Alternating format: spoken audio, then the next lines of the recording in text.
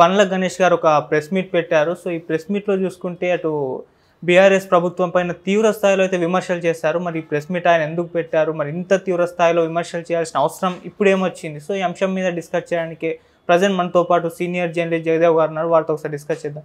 నమస్కారం సార్. నమస్తే అండి. సార్ బండ్ల గణేష్ గారి ప్రెస్ మీట్ మీరు కూడా చూసే ఉంటారు. సో ఆయన వాడిన పదాలు ఏ విధంగా ఎంత తీవ్ర స్థాయిలో బీఆర్ఎస్ నేతలపైన ముఖ్యంగా కేటీఆర్ గారు అండ్ కేసీఆర్ గారి పైన విమర్శలు చేయడం చూస్తున్నాం కదా. మీ ఒపీనియన్ సార్ దీనిపైన అంటే ఇది ఆయన స్వతహాగా వచ్చి ప్రెస్ మీట్ పెట్టారా? ఆయన వెనక నుంచి ఎవరు పెట్టించారా? అన్నట్టుగా అనిపిస్తుంది. ఎందుకంటే జనరల్గా బండ్ల గణేష్ గారు ఇట్లా ఆవేశంగానే మాట్లాడతారు.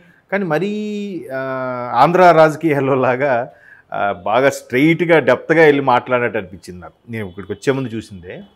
అయితే ఏంటంటే బండ్ల గణేష్ గారు అది మాట్లాడడం కూడా ఒక ఆయన భావోద్వేగానికి కారణం ఏంటంటే రెండు వేల పద్దెనిమిది ఎన్నికల్లో ఇట్లాగ కాంగ్రెస్ వస్తుంది రాసి పెట్టుకోండి అని చెప్పి అన్ని మీడియా ఛానల్ కూడా తిరిగి ఇంటర్వ్యూ ఇచ్చారు.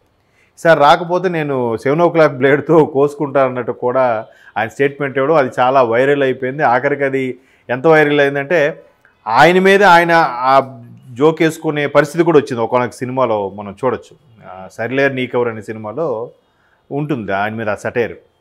సో అంటే అంతగా ఇబ్బంది పడి బాధపడి ఒక్కసారి వెక్స్ అయిపోయిన మనిషి ఎప్పుడైతే కాంగ్రెస్ వచ్చిందో సో ఇక కాంగ్రెస్ బాగుంటుంది. And more over Congress Revanth Reddy గారు వచ్చిన డే వన్ నుంచి కూడా మీరు అబ్జర్వ్ చేస్తే బీఆర్ఎస్ ఏవేవైతే మేము తెలంగాణ కోసమే చేశాము తెలంగాణ కోసం ఉద్యమం కోసం పుట్టాము అని జనాల్లోకి ఎంత బాగా వెళ్ళారో ఆ ఎల్ వెళ్ళిందంతా కూడా నెల రోజుల్లోనే మొత్తం దాన్ని తీ పీకి పడేసినట్టుగా చేశారు కాంగ్రెస్ వాళ్ళు. ఎందుకంటే ఫస్ట్ రా రావడం రావడంతోనే వీళ్ళు ఇంకా ఏమీ ఇంకా స్టార్ట్ చేయకముందే వాళ్ళు కౌంటర్ వేయడం.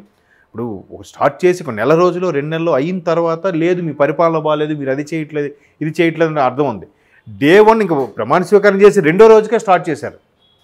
కదా? అది కరెక్ట్ కాదు. రెండో రోజుకి మీకు ఎట్లా రిజల్ట్ వచ్చేస్తుంది? గవర్నమెంట్ ఏం చేస్తుంది? ఏంటి ఎలా తెలుస్తుంది? మరి మీరు ఆ స్థాయి నుంచి వచ్చిన వాళ్ళు కదా మీరు ఎలా విమర్శిస్తారు? అంటే వెంటనే ఒక టాక్ ఏంటంటే సోషల్ మీడియాలో వైరల్ అయింది. ఎక్కువ రోజులు ఉండదు. రేవంత్ రెడ్డి గారి ప్రభుత్వం వెంటనే కూలిపోద్ది. మళ్ళీ కేసీఆర్ గారు వచ్చేస్తారన్న టాక్ని మరి పుట్టించారో పుట్టగించారో తెలియదు కానీ అట్లా రావడం దాన్ని వీళ్ళు నమ్మారో ఏమో డే వన్ నుంచి స్టార్ట్ చేశారు. స్టార్ట్ చేస్తే వీళ్ళు కూడా ఎక్కడా తగ్గలేదు. వీళ్ళు ఏవేవి తీశారో ఐదేళ్ళుగా చేసినవి.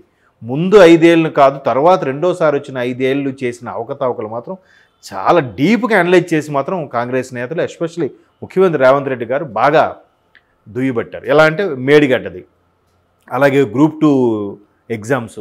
ఆ తర్వాత ఇవేవో అయ్యాయి వీటి మీద ఎన్నికలు వచ్చి గెలిచారు అనుకున్న టైంకి ముఖ్యమంత్రి రేవంత్ రెడ్డి స్థాయి వ్యక్తికి కూడా నెక్స్ట్ మేమే వచ్చేస్తాము అనుకొని ల్యాండ్ క్లూజర్లు ఏవైతే ఒక్కొక్కటి మూడు కోట్ల విలువైన ల్యాండ్ క్లూజర్ ఇరవై రెండు ల్యాండ్ కొని విజయవాడలో ఎక్కడో గుప్తంగా గోప్యంగా ఉంచి దాచిపెట్టారన్న విషయం ఎప్పుడైతే బయటకు వచ్చిందో మరి కాస్త బీఆర్ఎస్ ప్రభుత్వం మీద గత పరిపాలన మీద మరికొంచెం బురద జల్లడం ఎక్కువైంది. ప్రజలు కూడా ఓహో వీళ్ళు ఇలా చేశారా అనేలాగా చేశారు కాంగ్రెస్ వాళ్ళు.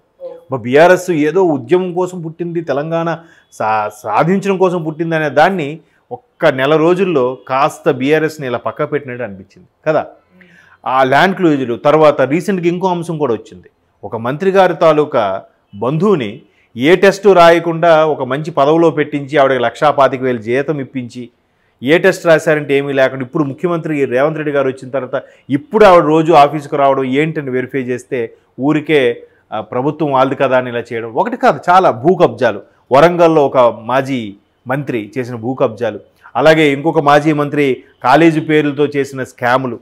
ఒక్కొక్కటిగా ఒక్కొక్కటిగా వస్తుంటే ఓహో వీళ్ళు ఉద్యమం పేరుతో కేవలం హైదరాబాద్ మహానగరాన్ని చూసి దీని నుంచి మనం లబ్ధి పొందొచ్చనే ఈ పార్టీ పెట్టారా? కేవలం హైదరాబాద్ నుంచి రెవెన్యూను తీసుకోవడానికే ఈ పార్టీ ఆవిర్భించిందా? ఉద్యమం పేరుతో ఎంతగా దోచుకున్నారా అనే స్థాయిలో కాంగ్రెస్ డే వన్ నుంచి ఒకటి స్టార్ట్ చేస్తుంది. ఓకే. అంటే ఎంతవరకు వాస్తవం అని అంటే ఒక్కొక్కటిగా ప్రూఫ్స్తో చూపిస్తోంది కదా. ముఖ్యమంత్రి మన రేవంత్ రెడ్డి గారు ఏమన్నారు? ముఖ్య నాకే పది రోజుల వరకు తెలియలేదు ఈ ల్యాండ్ క్రూజ్ విషయం అంటే ఇంక వేరే చెప్పొచ్చు అన్నట్టుగా. అలాగే పవర్ విద్యుత్కి సంబంధించి ఆ తర్వాత గ్రూప్ టూ ఆ చైర్మన్ సంబంధించి ఒకటి కాదు అన్నీ. కొంతమంది అధికారులు అయితే క్యా మళ్ళీ కేసీఆర్ గారు వస్తారేమో అనుకున్నట్టుగా కేసీఆర్ గారికి పర్సనల్గా సెక్రటరీగా ఫీల్ అయినట్టుగా కూడా కొంతమంది అధికారులు మిస్బిహేవ్ చేశారు. కోర్స్ తర్వాత తెలుసుకొని మళ్ళీ వాళ్ళు రేవంత్ రెడ్డి గారి దగ్గరికి వచ్చారనుకోండి ఇట్లాగా డే వన్ ఒక్కొక్కటిగా అవ్వడం ఇవన్నీ కూడా ఏం చేస్తుంటే ఇప్పుడు నెక్స్ట్ లాభం లేదు. ఇప్పుడు బీఆర్ఎస్ కూడా డే వన్ నుంచి ఎందుకు స్టార్ట్ చేసిందంటే పార్లమెంట్ ఎలక్షన్లు అయినా ఖచ్చితంగా కొట్టాలి. పదిహేడు స్థానాలకి ఎలాగైనా పది పదిహేను వరకు పది పన్నెండు వరకు మేము కొట్టాలన్న తలంపులో ఉంది. సో దాని మీదకు ప్రచారం చేయడానికి స్టార్ట్ చేసేసింది ఆల్రెడీ సో ఇప్పుడు ఈయన్ని పార్లమెంట్ ఎలక్షన్స్కి అసెంబ్లీ ఎలాగో ఓడిపోయారు. పార్లమెంట్ ఎలక్షన్స్కి వెళ్తే మీది ఒక లోకల్ పార్టీ మాది జాతీయ పార్టీ. జాతీయ పార్టీలో ఎక్కువ మంది వస్తే దమ్ము ఉంటుంది. మీరు వచ్చి ఏం చేస్తారు? మీరు వచ్చి ఏం ప్రశ్నిస్తారు? ఇప్పుడు ఆయన ప్రెస్ మీట్లో అదే అన్నారు కదా. ఇప్పుడు ఎంత పడకపోయినా ఎంత విభేదించినా బయటికి మాత్రం నవ్వుతూ పలకరించాలిగా. రాష్ట్రపతి వచ్చినా ప్రధానమంత్రి వచ్చినా గౌరవంగా పలకరించి లోపల మీరు కత్తులు దుయ్యండి అనవసరం. బయటికి మాత్రం ప్రజలకు దొరకకూడదుగా. ఆ నమస్కారం రండి దయచేయండి అన్నట్టుగా ఉండాలి కదా. మూడు సార్లు నాలుగు సార్లు ప్రధాని నరేంద్ర మోడీ వచ్చినప్పుడు ఆహ్వానానికి కూడా వెళ్ళాయి అది చాలా బ్యాడ్గా వెళ్ళిపోయింది. ఎలా అంటే ఈయనకేంటి ఇంత ఇది? వెళ్ళకపోవడం ఏంటి? ప్రతిసారి కూడా తలసాని శ్రీనివాస్ యాదవ్నో ఇంకెవరినో ఇంకెవరినో పంపించిన ఏంటి? ఒక మంత్రిని పంపించిన ఏంటి? ఈయన వెళ్ళాలి కదా. నచ్చపోతే అక్కడ ఎయిర్పోర్ట్ నుంచే నమస్తే చెప్పి బాయ్ చెప్పి డిస్పర్స్ అయిపో. ఆయనతో కూడా ఉండాలని ఎవరు చెప్పారు? ఆయనతో పాటు తేనేటి విందుకి వెళ్ళమని చెప్పామా? లేదు కదా. అలాగా అది కరెక్ట్ కాదు కదా. ప్రోటోకాల్ ప్రోటోకాలే పద పద్ధతి పద్ధతే. ఇప్పుడు మీరు ఒక ఒక కాలేజ్ ప్రిన్సిపాల్ ఉన్నాడు ప్రిన్సిపాల్ మంచివాడు కాదు. బట్ ప్రిన్సిపాల్ వచ్చాక స్టూడెంట్గా వాడు లేచి నిలబడాలి అంతే. ఆ ప్రిన్సిపాల్ వచ్చాడు కదా ఆడ ఎదురుగా కాలు మీద కాలు వేసుకుని కూర్చొని సిగరెట్ కాలేస్తే ఎలా ఉంటుంది? ప్రిన్సిపాల్ మంచివాడు కాకపోవచ్చు. అవును. అది నీ వ్యక్తిగతం. కానీ బయటకు అలా ఉండకూడదు కదా. అలాగ కొన్ని కొన్ని అవన్నీ కూడా మేబీ బండ్ల గణేష్ గారు బాగా మనసులో పెట్టేసుకున్నట్టున్నారు. ఒక్కసారిగా బ్లో అవుట్ అయ్యారు. మరి అంతే కదా. మీరు ఎంతమంది ఎంపీలు ఉన్నప్పుడే మీరు ప్రశ్నించిన వాళ్ళు ఇప్పుడు ప్రశ్న పదవి పోయిన తర్వాత ఇంకేం ప్రశ్నిస్తారు? మీరేం తెలంగాణ కోసం ఏం చేస్తారు? తెలంగాణ అనేది మెయిన్ ఉద్యోగాల కోసం కదా.